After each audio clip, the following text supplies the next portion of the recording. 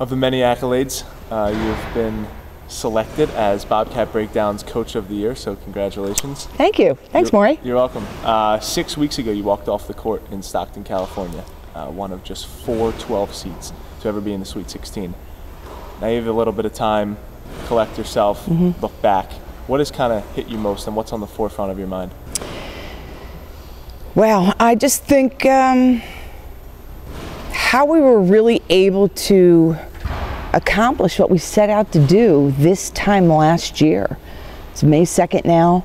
Um, our young ladies, like everybody else is in school, is in their last week of uh, classes and prepping for exams. And we were on a mission this time last year to set out to do exactly what we did and understanding really how difficult that is.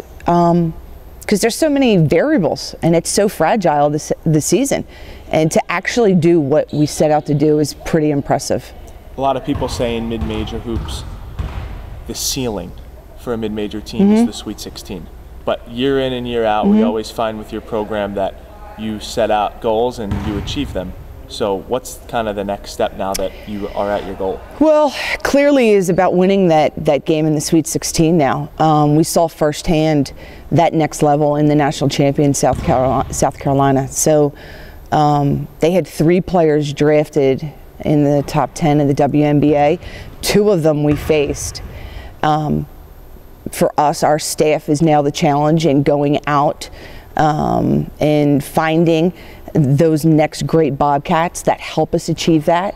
And it's the players now that return to the roster that return next year that develop their game over the summer. Um, and they're hungry again. They're just motivated, hungry, and want to be better. And they have this time now um, to achieve their own individual goals and to work on it uh, until we gather uh, as a team next late August, early September. Since we last spoke, your team finished in the top 25 Mm-hmm. uh, in the last national ranking at number 23, uh, the highest uh, mid-major team uh, got this year. Uh, now that you're in that national spotlight, Mm-hmm. how are you and the coaching staff taking advantage of that? Well, I think we're just, you know, always going about our business the same way. I mean, we're, we're we have a plan, we have a strategy um, to be who we've been. Um, we have a definite style of how we play. Um, a lot more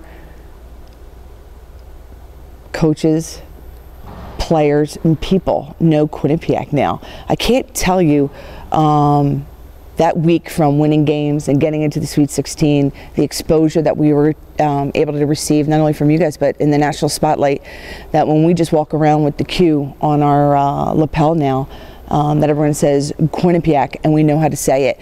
So um, it, it's that national branding and everybody now knowing that and taking advantage, advantage of that exposure, but still at the core knowing who we are, who we want to become, and just you know being diligent in that every day, taking care of our, our business. It's only been about a month since the season has ended, but AAU tournaments uh, are Mm-hmm. starting to you know come into full gear now.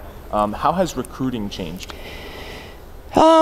Well, we just came off the road, two real busy weekends, and um, again, our staff was out um, covering the country and, and getting to the venues. And actually, this afternoon, we will be in full day meetings, sifting through, uh, and again, um, organizing, identifying not only uh, new possible recruits.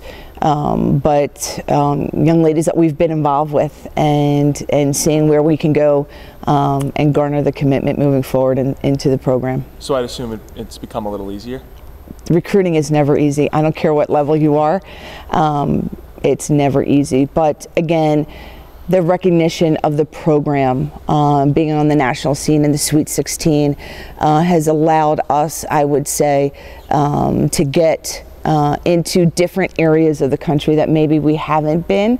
Um, but also, it's just us, you know, doing our what we do, I think, really well as a staff, um, being able to attract quality student athletes, being able to build upon what we've already been able to accomplish, and excite different student athletes about what we're accomplishing here in Hamden, Connecticut, and at Quinnipiac University. Trish, now that you've been to different parts of the country recruiting, you know, you look at another side of the national spotlight, you know, a different aspect, and that's scheduling. Mm-hmm. Uh, you guys have some games, you know, away from Hamden this year. I know you have the one with Michigan State, but any mm-hmm. other teams that you know you would like to play or, or, or that you potentially could play? Yeah, uh, Morey, the scheduling is so critical to our success. I mean, you know, getting, garnering, you know, an 11 and 12 seed, um, staying in a conversation for an automatic berth um, if you don't win the MAAC tournament is really vital to what we're doing here all season long.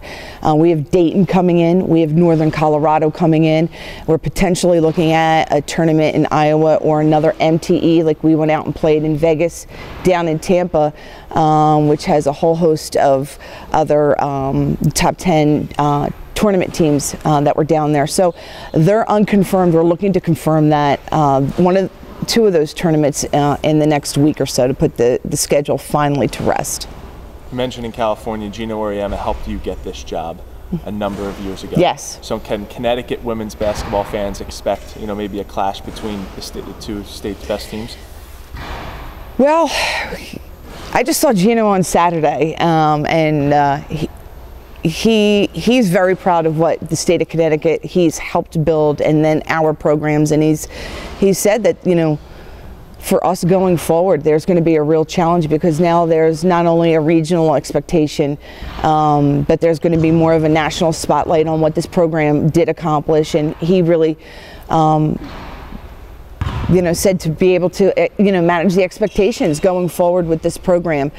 But um, in terms of trying to play, we've talked about it in the past, um, and it's something that you know, if we continue to build upon what we were able to accomplish, I think this this program um, would look forward to a match with UConn in the next couple of years.